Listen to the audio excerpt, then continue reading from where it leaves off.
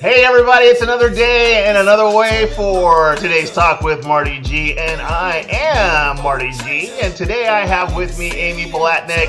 She is a blogger, author, woman of all seasons, and she donates her poo. That's an inside story. We're just gonna. T- I had to laugh because we are talking off camera. Amy, hello, welcome. I'm glad to have you with us today. How are you? I'm great. It's a great day. It's beautiful today. Yeah, beautiful here. I'm actually in California right now. You're in Cali. Well, is that where you live? No, I live in Eugene, but okay. Uh, we're visiting. You're visiting in Cali. Okay, so calling me from Cali, that's awesome. I like it when I get like across the border today's talk. so thanks for joining me. I mean, this is really kind of cool because I get new friends like every once in a blue moon. Mm. And this is really kind of bizarre because like we're not really truly connected. You just kind of just came out of nowhere. I just like found you. You just like found me. Yeah, like that. So I'm really kind of curious. and I wanted to save this for the talk because you kind of fascinate me. Because I kind of looked at some of your work and some of the things that you do, and I don't want to steal all the thunder. So tell me what you do. Share with my audience, share with everybody, what do you do? Because I found it fascinating. Well, I've worn a lot of hats. So I do a lot of things. And I think yes. I told you in my write up that I call myself a gig economist now, which means yes. I'm, kind of an, I'm kind of an economic opportunist. Okay. And okay. Uh, so, and the way that I navigate there is by passion. So I just do what I love to do. And I trust, I've always trusted that the universe would support, support me if I do that. If I stay with inspiration, intuition, and passion, that that somehow I don't know that if this works for everybody, but when I made that shift in my life, uh, it really I felt the the wind of the universe under my wings. I like that, and that's for me, mm-hmm. and that does work. I mean, I always truly believe it's like I say, you know, Marti G E G E E. The E E is energy and enthusiasm. Many people don't know that. I mm-hmm. am kind of a spaz, but it's just truly. I mean, I'm a I'm a big uh, Canfield supporter. I was like, I love the man. But the mm. reality is, I truly believe you manifest a lot of things when you just you're enthusiastic about the things you want to do, right? Yes, exactly. So, where are you from originally? I was born in Manhattan, and I grew oh, up in the suburbs of New York. Okay. Mm-hmm. Wow. So from left coast to right coast, or right coast to left coast, I guess, depending on which way you're holding the map. Right. Right. so right coast to left if you're holding the right mm-hmm. way. I'm mm-hmm. kind of uncommon and unconventional. So what made you come across the country? You know, um, the East Coast was always a little dense for me, and um, I just felt like I was like kind of uh, pulling my arrow and shooting it and then following it. So okay. I guess even when I was young, I kind of I never thought that I would stay in that area. I just always knew that like you graduate high school, you go to college, and then you go make a life somewhere. And that's right. just the way that I expected to live. So I just did that. I just and and it felt like the pacific northwest felt peaceful to me it felt more open it felt more more natural less horn honking Definitely less, less horn honking giving each other the finger on the highway you know just a little bit friendlier i never understood the horn honking in new york it's like cars don't move it's like everybody's right. on the horn but nothing's moving what is that? They're going to go. You can see that they're behind another car. So. yeah, it's like nobody's going anywhere. It's like I don't get it. so you see, also let's see. Um, for 28 years, you've also been um, what is it, a self self employed production potter. What does yes. that mean? So when I when I went to college, I'll just give you a little bit of the trajectory. I went to college. I was like in high school, I was most likely to succeed. You know that I would win that pretty regularly every year, most likely to succeed. You were that kid. I was that kid. And okay. So, you know, I was, you know, I pushed myself hard in high school. And so I thought I should be a doctor because I thought that that's what you do if you get good grades and you're most likely to succeed. Success right. to me meant that you become a doctor. I don't know. I was class clown. You were? Yeah. Surprise! I was friends with the class clowns. Oh, well, we're gonna get along great. Of course, of course. so, uh, so I went to college thinking I was gonna be pre med, mm-hmm. and then I just had several different things happened to me that shook me up enough that uh, just rattled me basically to my soul, to my bones. And I had a couple of uh, really big eye opening experiences. And I realized that I wasn't doing what I just said I do, which is following my passion and following right. what's what's true for me inside, my deepest wishes, not what I not to impress the world. I think I was always an impressor. I just right. wanted to impress everybody, and that would create some safety for me. Mm-hmm. And, uh, and then when I realized like that was I was living my life for other people, then I changed, and I, all of a sudden I was like, talk about arriving at the party. I I realized that if I wanted to have a fun life, I really could. You know, right. Right. do all kinds of fun things if I wanted to. And so I went, you know, from, you know, kind of mainstream success to completely outside the mark. You, you totally went off the grid. yeah. And so I was like, okay, what do I really want to do? And so I, I, I, first of all, I took much different classes in college, but I really got involved in pottery. I just loved pottery. Mm-hmm. And I, I wanted to either do that or some kind of like construction. Like I thought maybe I'd go to a boat building school or something like that, wow. or, okay. or, build houses, you okay. know, with Habitat for Humanity or something. But anyway, I wound up getting a job for four dollars an hour, maybe four twenty-five, four or four twenty-five an hour, uh, doing pottery, production nice. pottery. So I moved to Texas with my cat and my dog, and um, and then I did this hardcore pottery training. I was working sixty hours a week at the wheel, just wow. at the wheel, just throwing pots. Wow. Um, and and this was like production pottery you're trying to get you know every single piece to like look exactly the same you weigh out every single so piece this was not like the movie ghost at all there was no patrick swayze moments and any none of that I did fall in love when I was there, you know. I oh, mean, oh, okay, all right. all right. There was definitely love in the studio, but okay, but okay. but yes, I mean, it, it, it's more. It was more like it was like kind of hardcore. I was there with many men. It was just me and the rest of the throwers were all men. Okay. So um, I guess we could we could make up a fantasy about how that could be sexy. But yes, we really. can. That'll be another show. That'll be the late night show, folks. Late night show. Just everybody knows. and so then from there, I moved up here and uh, started a life as a potter. And I just kept following my nose and I um, eventually, you know, pottery is very earthy. It's very muscular. It's very physical. You're carrying a lot of things, you know, big boxes of pots to shows, big, you know, 50 pound boxes of clay here and there, mm-hmm. big buckets full of glaze. It's a kind of a physically demanding job. Not yeah. kind of. It's if you're a production potter, it's a physically demanding job. So then I uh, needed something. So basically, you're telling me you got a rock and bod. I well, I was I used to be really strong. I believe I it, especially my upper body. You my upper be, body yeah. got like. You can throw yeah. a man halfway across the room if they say something wrong. I actually, yeah, I am pretty strong.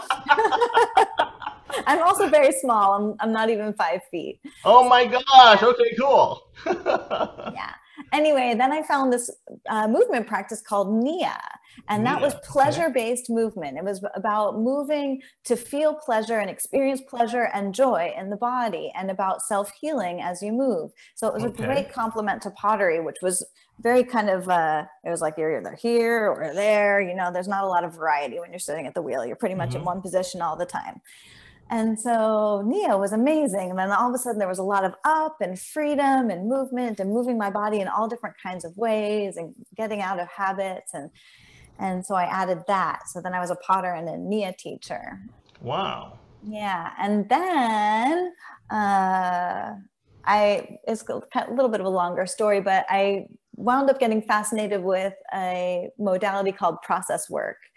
Yeah, was, I was seeing this because you had process oriented psychology. I, I, I will tell you straight up confession because I'm a student of communication. Okay, and so there's always this war that I wage myself. It's it's a one man war that I wage against students of psychology because okay. they they stole the science from from communication. Because it's like mm-hmm. every time I go to a psychologist or a therapist or someone who's been through that discipline, it's always about talk therapy and it's always about things in communication. I'm like, And or I talk to someone who's been to a psychologist and they say, well That's what my therapist said. Like they make all this money off of things that I already know. It's not Mm. fair just because I didn't go to psych school. So maybe you Mm. know something different. So I want to hear what this processed oriented psychologist is. This is new to me. Yeah. Process work is um it's not talk therapy first of all. I mean, you can talk, but we do all kinds of things. It's multi-channeled is what we say. So Okay. so it kind of depends on the on the client, you know, but people like you can see as I'm talking I'm moving around a lot. Yeah. And so I'm a movement person. If I were to sit down with a process work therapist, they'd probably start moving too. And pretty soon we'd be dancing and my process would just kind of come out of the dance. So it's, uh, it's, it's really about, uh, letting things happen you know taking taking the lids that we put on ourselves and we learn this from when we're really young be this Oh, way don't be that way Sit this is acceptable that's not acceptable Right. but what if we were to value all parts of ourselves and all parts of each other and all parts of society? You know, what if we were to say everybody gets a seat at the table? We want to know what what are your thoughts? What are your beliefs? What are your feelings? What, what do you need to express that you haven't been expressing this whole time?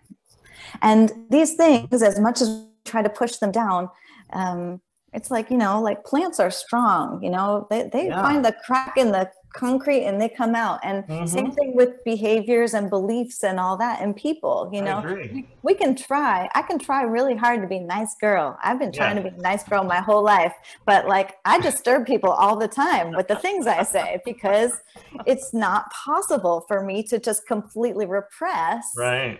Whatever that other stuff is that I think is anything that's not the nice girl. Like, So it's going to come out sooner or later. It comes out some way, Yeah. either in your dreams, it comes out in body symptoms, it comes out in your relationship problems. You know, it's gonna it's gonna come out somewhere or everywhere. Gosh, I should. I need to send my wife to you because she maybe she needs some process work. She's a Libra. She loves to stuff. Uh-huh. Everything is fine. everything's Oh. okay. No, not a big deal. Whatever. I'm like, oh, Mm. come on.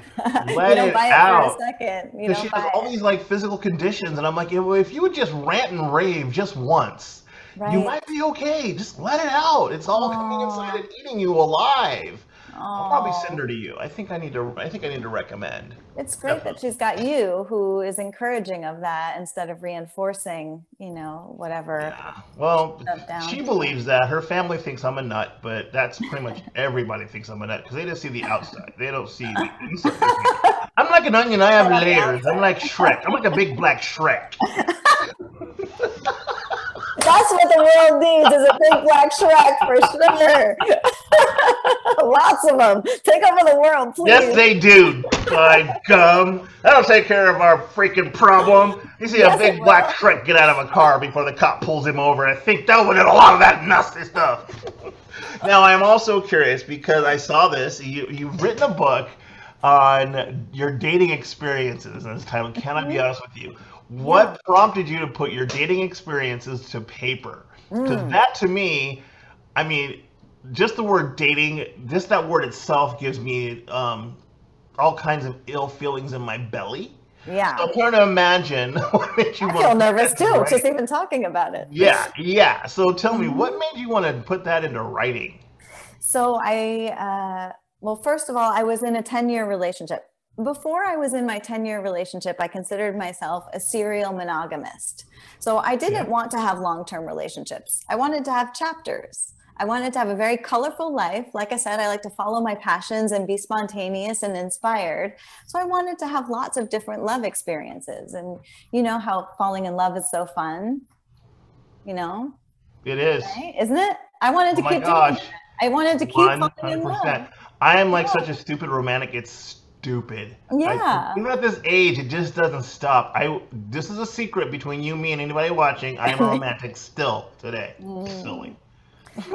so because of that i never wanted to have a really long-term relationship i didn't want to get married i was completely traumatized by my parents divorce and i didn't believe in marriage i thought it was it wasn't going to work for me it didn't seem like so uh so then i got into a long-term relationship. We had a family i had a woman partner i had a daughter she had two daughters all five of us living in the house. It was heaven and hell all together somehow you know it was beautiful and it was impossible and we um anyway, we don't need to talk about my family. But when I got out of that 10 year relationship, I was like in my mid 40s. I was like, okay, this is my last chance. Who knows? I could be like, you know, skin hanging on the floor in 10 years. You know, right. I don't know how fast I'm aging here. And I'm going to like, I, got to go. I have to go experience life. There's things I don't want to miss out on.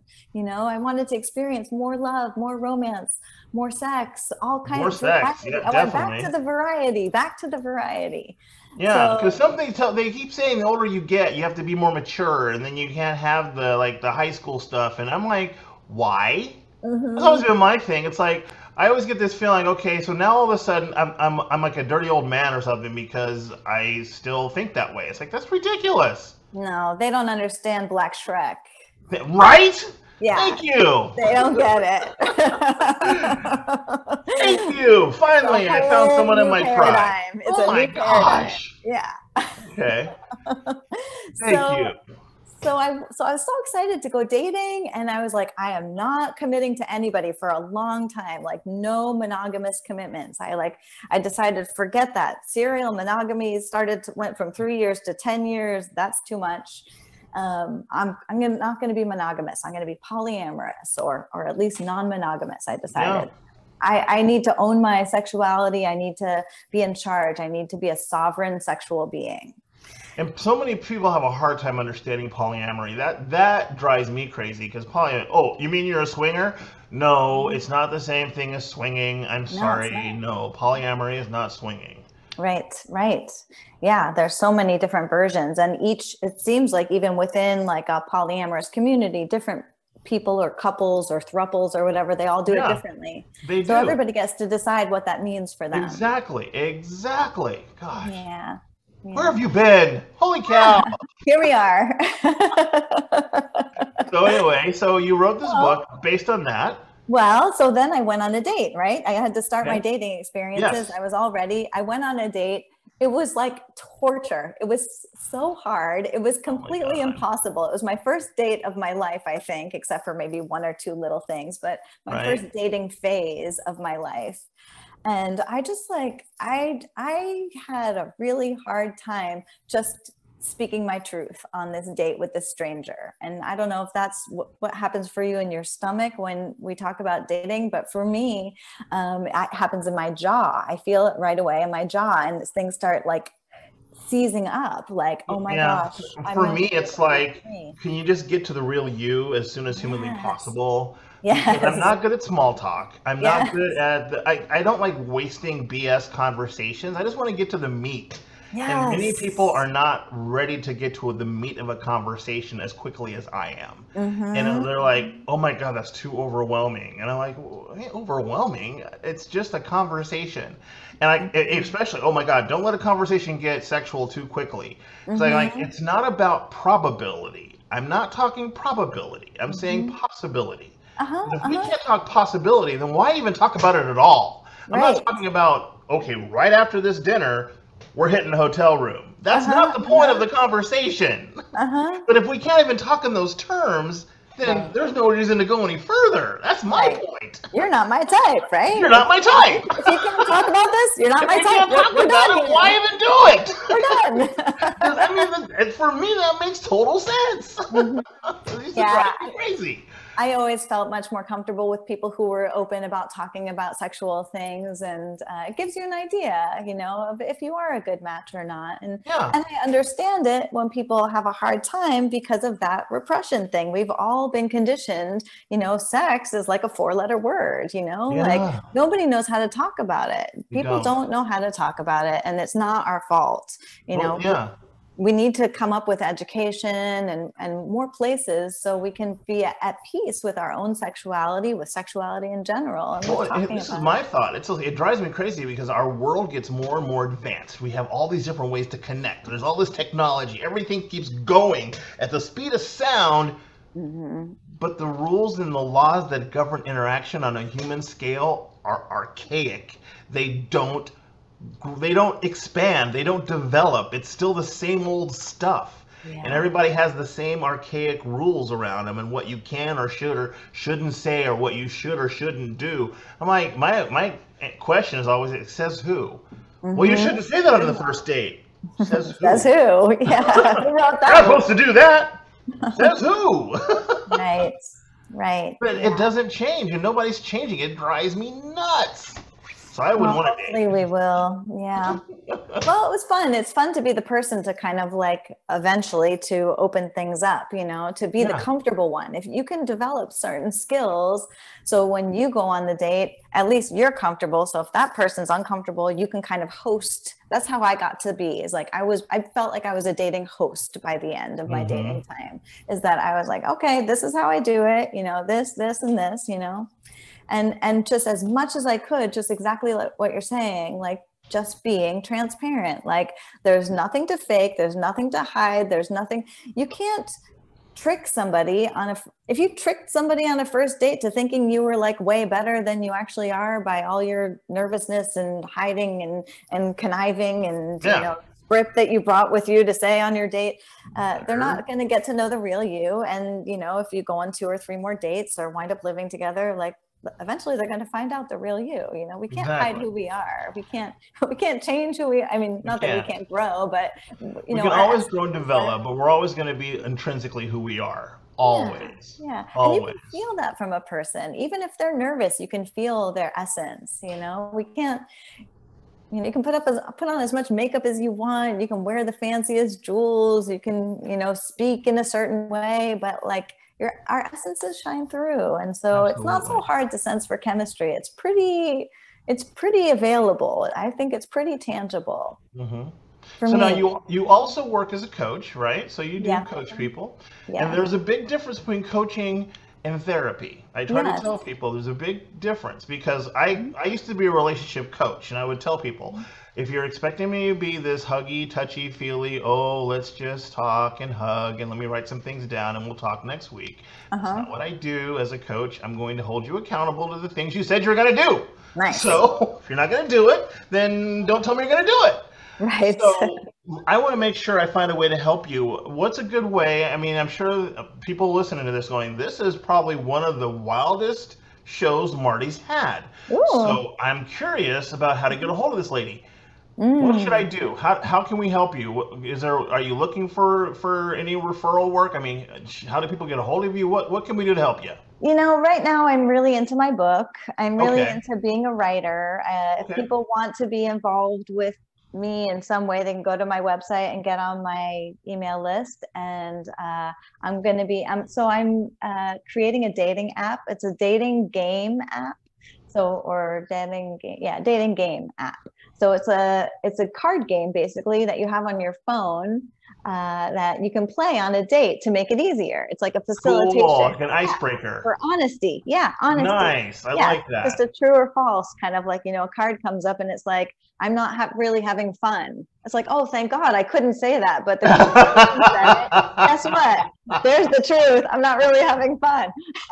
I love it. I love it. That's a great idea. You totally should do that. That yeah. rocks yeah I yeah totally love it. So I, so i have a lot of things that i want to produce and give away and um, maybe eventually sell and and my uh-huh. book and there's my logo. I'm so happy with that logo. It was the great same, logo. Does it have some meaning behind it yeah you know it's it's the same swirl pretty much that i used a lot on my pottery i don't have any of my pottery here but that was my okay. main my main profession for like almost 30 years as i was a professional potter okay. and uh, and i used that swirl and then i was like oh i want that swirl to be my logo my pottery swirl and when i looked it up it was hard for me to find it first of all and it's mm-hmm. called the double spiral and it's about uh, bringing the physical and the spiritual into balance. It's like the combination of the physical and the spiritual. When i looked up the meaning of it but i've been using that symbol forever. And you didn't even know what it meant before you act. That's kind of cool. So yeah. i think it found you didn't it? Yeah we found each other. You yeah. found each other. Yeah. So well, okay, so I guess the best way to get a hold of you is through your website, right? Yeah, yeah. You know, just to reach out to you there. Okay. Mm-hmm. Yeah, there's a contact. Like if people had specific questions, or also on Facebook. I'm on Facebook, and okay. uh, yeah, I'm going to be doing a few big book launch parties. Um, with giveaways and readings and signed copies towards the the launch of the book is at the end of May. So I'm okay, okay. A big pre-launch period right now. And that's the Can I Be Honest with You book. Yeah. okay, great. I have the one and only copy right here. Oh. There's only one copy. One right copy. Here. Yeah. Well, I definitely want a signed copy of it. I'll be on that awesome. list. I will be there for sure. Yeah. So, do you have any parting thoughts? Anything to share with us before we go? Ah, well, like I said, the book is called Can I Be Honest with You? And if I were to just give the listeners one gift, it would be that line that you can always have that that line in your pocket for when you need to shift up the dynamics of a conversation when it's not going your way and maybe like my logo one of your thoughts is spiraling this way and the other one's spiraling a different way. A way to kind of come in, back into your center is that using that word. Can i be that that line can i be honest with you? And it somehow it, it paves a, a gentle field for for the truth to be sown. And uh, and i think that it brings people closer together like you were saying before like what happened to our communication skills? Why have we evolved in technology but not in interpersonal relationships yeah, and communication and peace you know peace? Yeah. so can i be honest with you? Ask it to it. ourselves ask it to each other. Love it Thank you so much, Amy. I really appreciate you taking the time to sit with me today. Yeah. Great getting to know you. I think we're going to get to know each other over time. I feel Let's hang out. Best friend. I yes. think you're part of my tribe. I think there was yes. a reason why we came together. Yeah. So thank you very much for taking the time, folks. Um, I'll put all Amy's contact information in the comments if you'd like to be a guest on my show. This wasn't too painful, was it? It was, it was awesome. Okay. Went by like that. All right. So thanks a lot, folks. Amy, thank you for being here. Have a safe trip back from Cali. Thanks. And I will talk to you again soon. Say goodbye. Great. Bye, everybody. Bye, Marti. Bye bye. Thank you. Hey, Bill, I'm in mood for a. I hit the function, hit the rose till I hiccup. I hit the stage and leave with money that's a sticker. She picture perfect, so I told him I'm a flicker. Bill, I'm in mood for a change up my change up. They got amnesia, don't remember.